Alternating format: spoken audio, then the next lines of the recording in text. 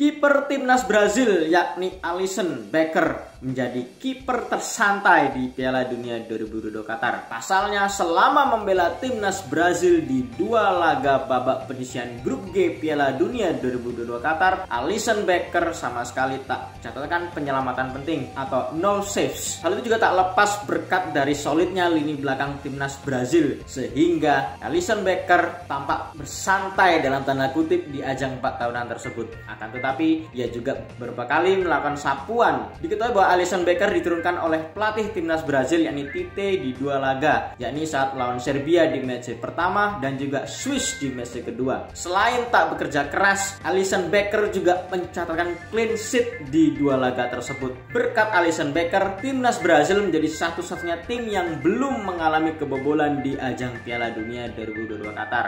Kini ketangguhan kiper Liverpool tersebut akan kembali diuji bila diturunkan pada laga kontra Kamerun di match terakhir grup G. Menarik nantikan apakah Alisson Becker kembali bersantai saat diturunkan melawan Kamerun di match terakhir grup G Piala Dunia 2022 Qatar.